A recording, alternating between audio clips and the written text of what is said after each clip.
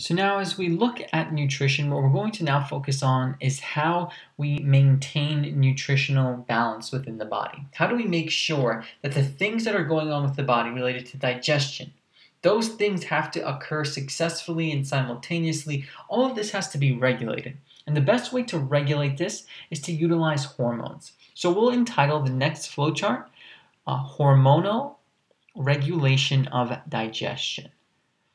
So in order for digestion to occur successfully, you need to have a hormonal influence over it, and that's what we'll be focusing on in this flowchart. This is summarized in figure 41.2, the topics that we'll be covering throughout this flowchart. Overall, what we need to first understand about hormonal regulation within digestion is the following. When you have the arrival of food, and that's the key word here the arrival of food, the presence of food anywhere within the alimentary canal compartments. There are going to be reactions to this. The alimentary canal, remember, it's that one way tube with the mouth and the anus.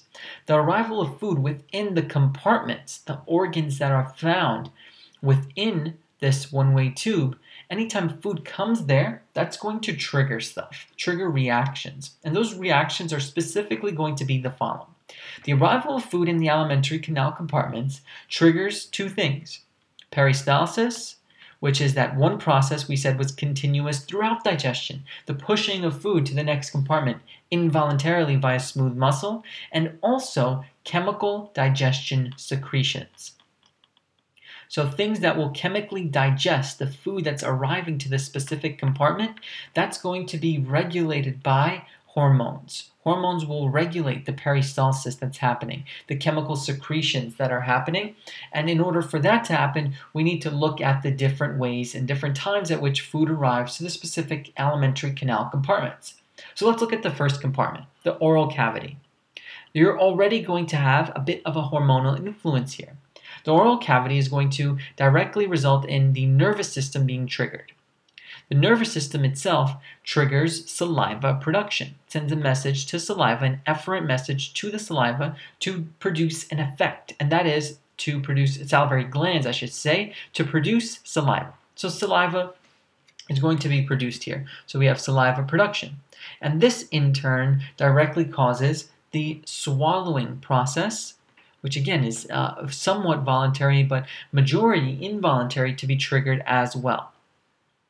So it encourages both of these. So that's what happens at the oral cavity in terms of regulation of digestion. So let's move on to the next part. The next major area of digestion, if we sort of exclude the pharynx and uh, esophagus, which are just, you know, hallways to the next part, the next part is the stomach.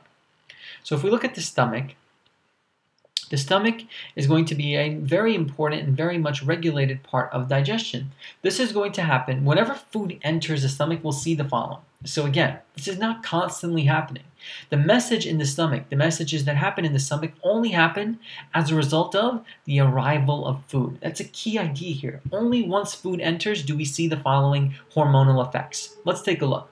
Within the stomach, once food enters, the food arrival itself uh, it, naturally, you would imagine this, the food arrival stretches the stomach. The stomach expands. Remember, we said it had elastic muscles, and that's purposeful. That food arrival causes the stretching of the stomach. Now, this in turn will cause some other reactions, and those are the these are and those can be summarized as the following two events that occur post stretching of stomach, post arrival of food. First, when we have this stomach stretching, this directly triggers the release of a hormone, and that is called gastrin. So gastrin, which is nicely named because it's occurring in this gastro area of the body, this is a digestive hormone that is only going to be released if food arrives and stretches the stomach. So gastrin as a hormone is a chemical message. It must have an effect. What's the effect?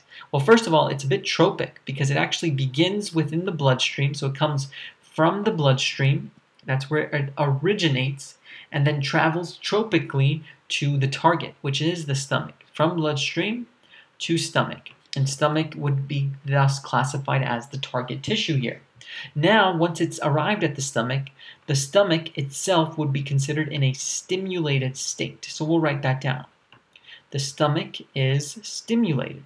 What does that cause? Once the stomach has been stimulated, it will produce gastric juices at a high rate. Produces gastric juices. And as we know, gastric juices are important in the furthering of digestion, of breaking down material that has entered the stomach.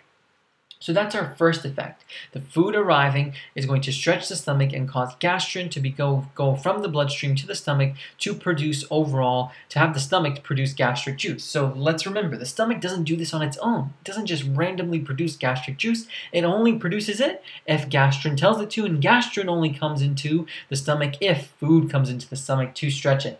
And overall, once you have food arrival within the stomach, this is going to then uh, subsequently cause as well the idea of churning. This triggers, once you have all this occur, this overall triggers churning, the stomach moving around, its muscles flexing. That's called stomach churning. This is the physical mixing and further, you know, breaking down of food. So it's a physical mixing of food. And the stomach is constantly doing this. And sometimes when you don't have any food there and the stomach is churning, you'll hear it. Your stomach will growl, right? So if there's no food there, that growling, that churning will happen and you'll actually hear it specifically. Now, though this is one of the major reasons why the stomach is, digest, is uh, um, hormonally regulated, this arrival of food, it's also going to be subregulated by another uh, part of the body it's also, we'll just mention this, it's also regulated by uh, a part of the uh, nervous system that we looked at, the enteric division, and that's of the autonomic nervous system, ANS. Remember, the enteric division is just a part of this autonomic nervous system, mainly in charge of digestive qualities and capabilities. In the next video, what we'll be concluding our hormone, hormonal regulation is looking at what happens within the small intestines.